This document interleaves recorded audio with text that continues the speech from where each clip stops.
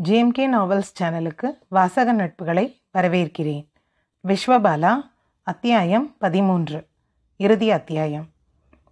உங்கள் பையன் இயல்புக்கு மீறி அவரையே வருத்திக்கிட்டு உங்களையும் ஏமாத்திட்டு வாழ காரணம் பெத்த நீங்கள் தான். மகன் மனசு அறிஞ்சும் அதை நீங்கள் மதிக்காமல் போனது ரொம்ப பெரிய தப்பு சார். இனிமேலாவது அவன் மனசை புரிஞ்சு நடங்க. உங்கள் மகனோட உயிர் தாரா வயிற்றில் நீங்கள் என்ன முயற்சி செய்தாலும் கடவுள் நினைக்கிறது தான் நடக்கும். அப்பா அம்மாவா? ஏன் அப்பா அம்மாவும்? தாராக்கு தங்கச்சியா? நானும் உண்டு. அவங்க அனாதை இல்லை. அத்தை சொல்லுமா? அழாதீங்க அத்தை. எப்பவும் விஸ்வா செய்கிறது சரியாக இருக்கும்னு சொல்வீங்க தானே? அப்போது தாராவை ஏற்றுக்கோங்க அப்புறம் விஸ்வா இனி நீங்கள் தான் சூழ்நிலையை சரி செய்யணும். நான் அடிக்கடி வருவேன் உங்கள் எல்லாரையும் பார்க்க. வரட்டுமா? பாலா விடை பெற தாரா அவளை அணைத்து கொண்டாள். இருவரும் நேசம் பகிர்ந்து கொண்டனர். பின் பாலா கிளம்ப கோமதி விஸ்வா தாரா மூவரும் வாசல் வரை சென்று வழியனுப்பி வைத்துவிட்டு வந்தனர். வீட்டின் உள்ளே வர கோமதி தாராவை மேலிருந்து கீழ் வரை பார்த்தவர் மாடி ஏறாதம்மா. அதோ அங்கே இருக்கிற ரூமில் நீ இருந்துக்கோ. உன் புருஷனையும் மாறிக்க சொல்லு. கோமதி சொல்ல தாரா சரியென தலையாட்டி இருந்தாள். அம்மா விஸ்வா அழைக்க? பேசாத கண்ணா. நான் இப்படி ஒரு பையனையா வளர்த்தேன். உனக்கு என்கிட்ட எதுவும் சொல்ல தோணலை தானே?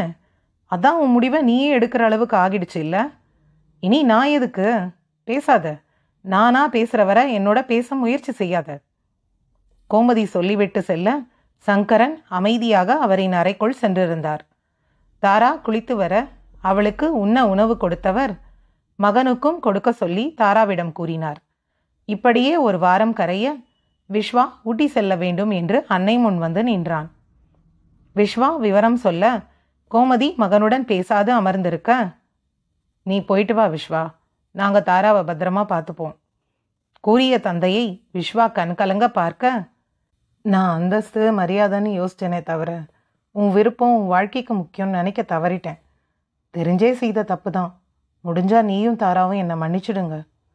சங்கரன் கூறவும் தாரா அழுதிருந்தாள். நீங்கள் மன்னிப்பு கேளுங்க. உங்கள் மகன் மன்னிக்கட்டும். நான் மன்னிக்க மாட்டேன். எனக்கு என் மருமகளை பார்த்துக்க தெரியும். கிளம்ப சொல்லுங்க. காத்து வரட்டும். கோமதி கூறவும் அன்னையின் அன்பில் முழு நிறைவுடன் ஊட்டி சென்றிருந்தான். இங்கே பாலா வீட்டில். மகளுடன் பார்வதி உடன் இருக்க பாலா நன்றாக உண்டு உறங்கிக் கொண்டிருந்தாள். அன்று இரவு பாலா உண்ண வரவும் அடுத்து என்ன செய்ய போற பாலா? நடராஜன் கேட்க படிக்கணும்ப்பா. என் துறையில் சாதிக்கணும். அதுக்கப்புறம் மீதியை பார்க்கலாம். பேசாமல் இவளை படிக்கவே அனுப்பியிருக்கலாம் நம்ம. இப்போ சொந்த பந்தம் எல்லாருக்கும் பதில் சொல்லணும். இப்படி மோசம் போயிட்டாளேன்னு பேசுவாங்க. பார்வதி கூற மா என்ன மோசம் போயிடுச்சு இப்போ? மாப்பிள்ளை பற்றி சரியாக விசாரிக்காமல் என்னை தள்ளி விட்டால் போதும்னு அனுப்பிட்டு எதுக்கு பேசுகிறீங்க கல்யாணம் தான் ஒரு பொண்ணுக்கு வாழ்க்கை லட்சியமா என்ன? கல்யாணம் பண்ணிக்காமல் இருக்க நீ ஒன்றும் ஆம்பளை இல்லை. பொண்ணு நீ கல்யாணம் பண்ணிக்காமல் வேற என்ன செய்ய போகிற கொஞ்சம் படித்த திமிரில் பெண்ணியம் பேசாத எங்ககிட்ட. நான் ஒன்றும் ஆம்பளை மாதிரி ஒரு மூட்டையை தூக்கிடுவேன் சட்டையை கழட்டிட்டு நடு ரோட்டில் நடப்பேன்னு சொல்லலை. ஒரு பெண்ணால் அது முடியாது. ஆணும் பெண்ணும் உடலால் வேறு தான் ஆனால் மனசில் உணர்வில் அறிவில் ஆணும் பெண்ணும் சமம். எப்படி ஒரு ஆண் பிள்ளை படித்து வேலைக்கு போய் சுய காலில் நிற்கிற நிலை வந்ததும் அவனுக்கு பிடிச்ச பொண்ணை கல்யாணம் பண்ணிக்கிறானோ அதே போல் பெண்ணும் படித்து சுய காலில் நின்றுட்டு விரும்பின ஒருத்தனை கல்யாணம் பண்ணிக்க முடியும்? அதைத்தான் நான் கேட்குறேன் எவனோ எதையோ சொல்வான்னு என்னால் எதுக்கும் கவலைப்பட முடியாது. சுற்றி இருக்கிற நாலு பேர் பேசுவாங்க. அதானே?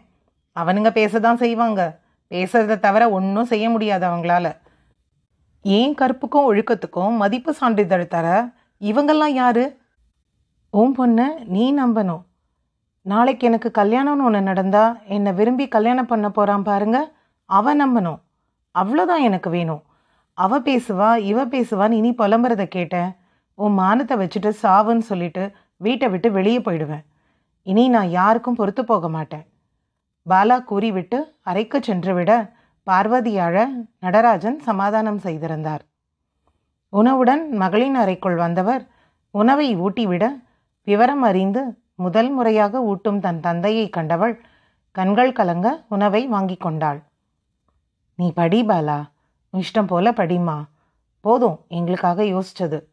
உனக்கு எப்போ தோணுதோ அப்பா அடுத்து என்னன்னு பார்ப்போம் பயந்து பயந்து என் பொண்ணையும் குழையா நிற்க வைக்க இனியும் நான் தயாராக இல்லை. என் துணை இல்லாமல் என் பொண்ணு நிமிர்ந்து நிற்பான்னு நம்பிக்கையில் நான் நிம்மதியாக செத்துருவேன். அப்பா இப்படி பேசாதீங்க. சரி என் பொண்ணு நிமிர்ந்து சுயக்காலில் நிற்கிறத பார்த்து பெருமைப்படுவேன். போதுமா? நடராஜன் கூற பாலா சரி என கூறியிருந்தாள். மெல்ல ஆறு மாதங்கள் ஓடியிருந்தது.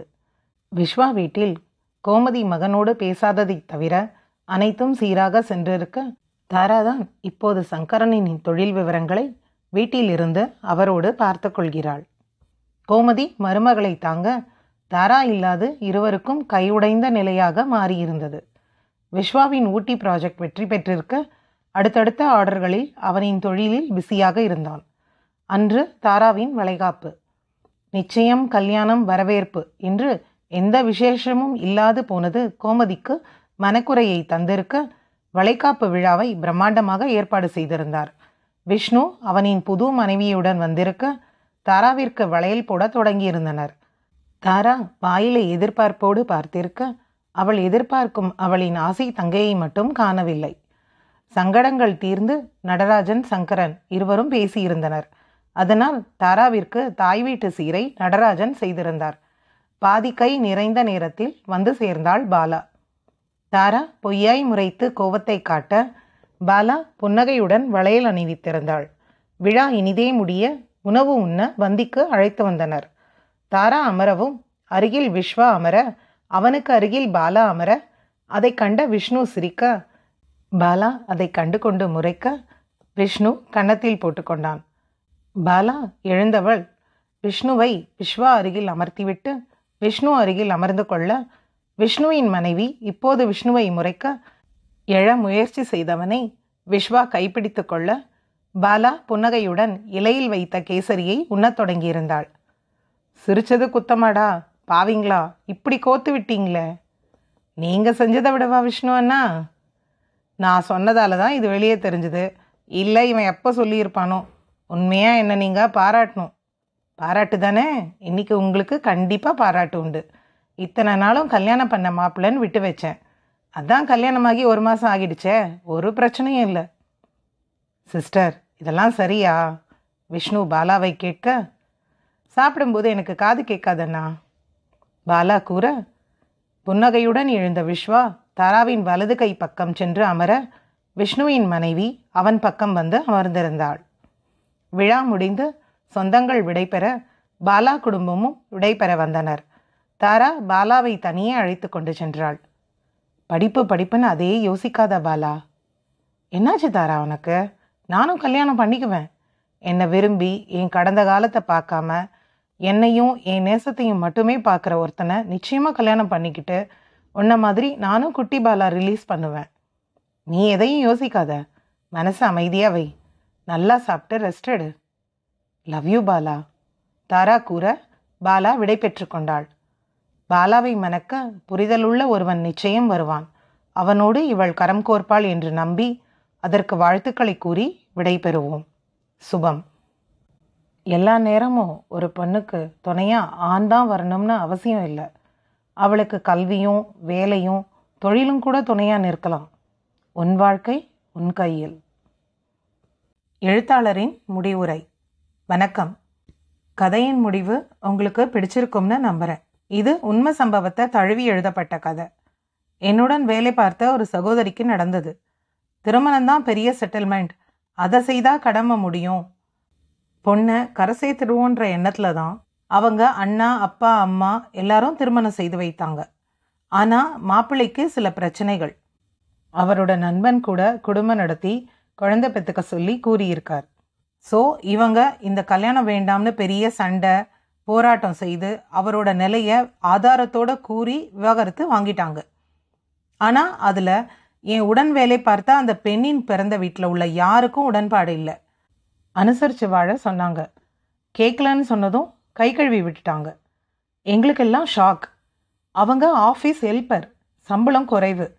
இந்த கொரோனா காலத்தில் வாய் திறந்து சொல்லவும் முடியாமல் உதவி கேட்க கூச்சப்பட்டு பட்னி கிடந்திருக்காங்க. எங்களுக்கு தெரிய வந்து ஏன் சொல்லலைன்னு கேட்டப்போ அழுதுகிட்டே நிறைய சொன்னாங்க.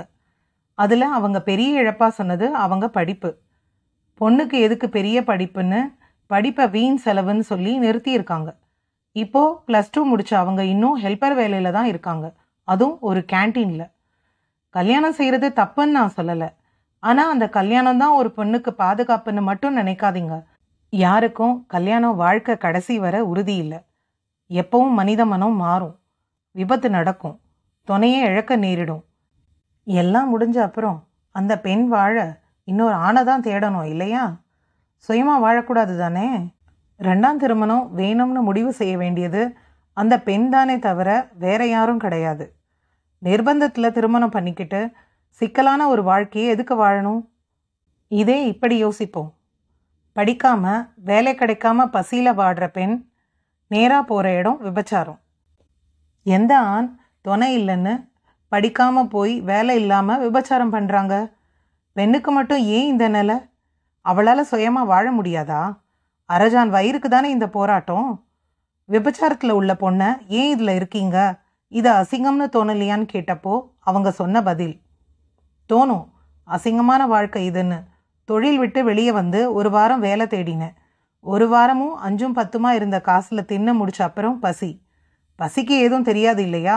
அதான் என்ன ஒருத்தனுக்கு தின்ன கொடுத்துட்டு அவன் கொடுத்த காசில் என் பசிக்கு சாப்பாடு வாங்கினப்போ விபச்சாரம் அசிங்கமாக தெரியல. நம்ம கதையில் பாலாக்கு சுயநலமான புருஷன்.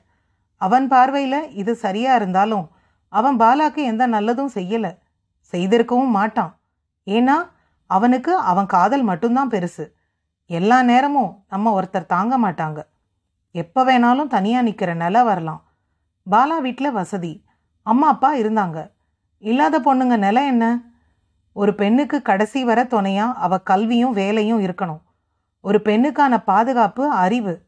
எந்த பெண்ணுக்கு கல்வி அறிவும் அது தர நிமிர்வும் கூட இருக்கோ அவள் எந்த பிரச்சனை வந்தாலும் தளர மாட்டா. அவள் சுயம் அவளை நிமிர்ந்து நிற்க வைக்கும். கல்வியில் வேலையில் சுய காலில் நிற்க வேண்டிய தேவையில் ஆணும் பெண்ணும் சமம். இது பெண்ணியம் இல்லை. ஒவ்வொரு பெண்ணுக்கும் பெற்றோர் கொடுக்கும் பாதுகாப்பு. உங்கள் சந்ததிக்கு நீங்கள் செய்ய போகிற பெரிய கடமை பெண் கல்வி தான். அதை சொல்லதான் இந்த கதையும் களமும். அன்பு அனைத்தும் செய்யும் அன்புடன் கௌரி முத்துகிருஷ்ணன். கதையை பொறுமையாக ரசித்து கேட்ட வாசக நட்புகளுக்கு மனமார்ந்த நன்றிகள். Please subscribe to the channel